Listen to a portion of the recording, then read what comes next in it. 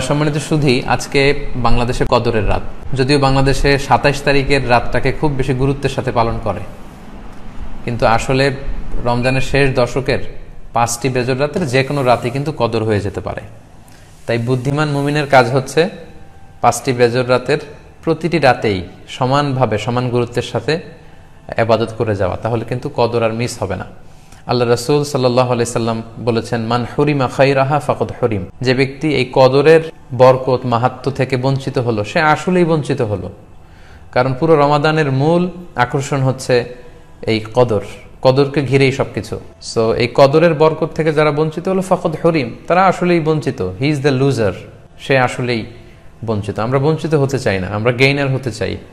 আমরা বারাকা, রহমত হাসিল করে নিতে চাই। আল্লাহ রসুল সাল্লাহ আলহি হাসাল্লাম এরশাদ করেছেন, ফালতামিসু ফিল আশরিল আওয়াখের মিনাল ভিতের রমজানের শেষ দশ দিনের মানে শেষ দশকের বেজর রাতগুলোতে কদর তালাশ করো। তার মানে একুশের রাত, তেইশের রাত, পঁচিশের রাত, সাতাশের রাত এবং উনত্রিশের রাত।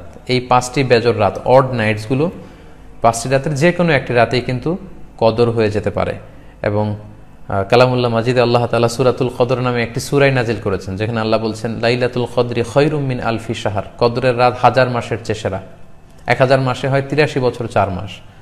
তার মানে আজ রাতে যদি আমরা এবাদতের মধ্য দিয়ে এই রাত্রি কাটাতে পারি, তাহলে তিরাশি বছর চার মাস এবাদত করলে যে পরিমাণে সওয়াব পাওয়া যাবে, আল্লাহ তালা ঠিক ওই পরিমাণে সওয়াব দিবেন, এটা আল্লাহ বলেননি। আল্লাহ বলেছেন খৈরুমিন আলফি সাহার তার চেয়েও বেশি পরিমাণ সওয়াব, ব্লেসিংস মাহাত্ম আমরা অর্জন করতে পারব। এবং সালামুন হিয়া হাত্তা মাতলা আইল ফাজার। ফজর পর্যন্ত, রাত থেকে মাগরিবের আজান থেকে শুরু করে ফজর পর্যন্ত পুরো সময়টাই কিন্তু কদরের বরকতময় রাত।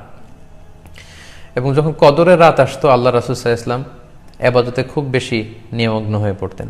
সারা বছরের কখনো রাসুসাহ ইসলাম সারা রাত জেগে আবাদতের কোনো নজির পাওয়া যায় না। শুধু কদরের এই রাতগুলো ছাড়া বা রমজানের শেষ দশ দিনের এই সময়টুকুন ছাড়া। হাদিস শরীফে এসেছে, ইদা জা আল আশরা আহিয়াল লাইলা ওয়া আই কদা আহলা ওয়া জাদ্দা ওয়া সাদ্দাল মিসার রমজানের শেষ দশক যখন আসতো, আল্লাহ রাসুসাহ ইসলাম সারা রাত জেগে আবাদত করতেন। সারা রাত দাঁড়িয়ে দাঁড়িয়ে তিনি আবাদত করতেন। ওনার ফ্যামিলি মেম্বার্সের মধ্যে থেকে কেউ ঘুমিয়ে থাকলে তাদেরকে উঠিয়ে দিতেন এবং তিনি কোমরে গামছা বেঁধে আবাদতে লেগে পড়তেন। এখানে রূপকর্থে কোমরে গামছা বেঁধে বোঝানো হচ্ছে মানে আবাদত করার জন্য তিনি এতই উদ্গ্রীব হয়ে পড়তেন কখনো বছরের কোনো সময়ে এতটা উদ্গ্রীবতা রাসুসাহ ইসলামের মধ্যে দেখা যেত না। এবং আল্লাহর হাবিব সাহা ইসলাম এরশাদ করেছেন, মান কম আলাইলাতাল কদরি ইমানা ওয়াহতিসাবা গফির আলাহু মা তকদ্দামা মিন জাম্বি যে ব্যক্তি এই কদরের রাতে কেয়ামুল্লাইল করবে, আল্লাহ তাআলা তার পূর্বের সব গুণা মাফ করে দিবে। তাই কদরের রাতে আপনারা বেশি বেশি ক্যাম করুন, দীর্ঘ সময় দাঁড়িয়ে নফল নামাজ পড়ুন, লম্বা সময় দাঁড়িয়ে থাকুন, লম্বা রুকু করুন, লম্বা সিজদা করুন। কারণ বান্দা যখন সিজদায় লুটিয়ে পড়ে, তখন সে আল্লাহর সবচাইতে কাছে চলে যায়। আল্লাহর হাবিব সাহা ইসলাম বলেছেন আকরবুমা ইয়াকুনুল আব্দুমের রব্বিহি ও হুয়া সাজিদুন ফাকসিরু ফিহি দোয়া।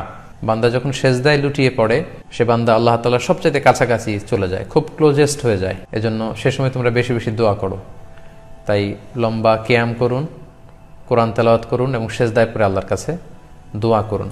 আম্মা জান আয়েশা রাদি আল্লাহ তালা আনহাকে বিষ্ণু ইসা ইসলাম একটা দোয়া শিখিয়েছিলেন এবং বলেছিলেন, আয়েশা, কদরের রাজ্য যদি তুমি পাও তুমি এই দোয়াটা বেশি বেশি পড়বে। দোয়াটি হচ্ছে, আল্লাহম্মা ইন্নাকা আফুন তোহেব্বুল আফওয়া ফা আফু আন্নি।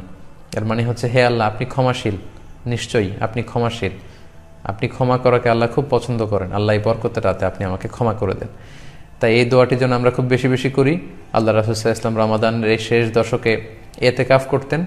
প্রতি বছর তিনি এতে এতেকাফ করেছেন, রমদানের শেষ দশ দিন। এবং যে বছর তিনি এতেকাল করবেন, সে বছর তিনি বিশ দিন এতেকাফ করেছিলেন। এবং আল্লাহ রাসুল সাল্লাহ আলহিসাল্লামের ইন্তেকালের পরে আম্মা যান, যারা বেঁচে ছিলেন ওনারাও মসজিদে নবীতে ওনারা কিন্তু এতে কাফ করেছেন। আপনারা আবাদতের মধ্য দিয়ে, কোরআন তালাওতের মধ্য দিয়ে ক্যামুল্লালের মধ্য দিয়ে, আল্লাহর সাথে সম্পর্ক বৃদ্ধির মধ্য দিয়ে এই রাতটি পালন করুন। গোটা বিশ্বে যেমনি করোনার কারণে গোটা বিশ্ব আজ পর্যদুস্ত, সবাই একটা আতঙ্কের মধ্যে আছে। আসুন আমরা এই কদরের রাতগুলোতে কায়মনোবাকে আল্লাহর কাছে দোয়া করে আল্লাহ তালা যেন বিপদ থেকে আমাদেরকে মুক্ত করেন।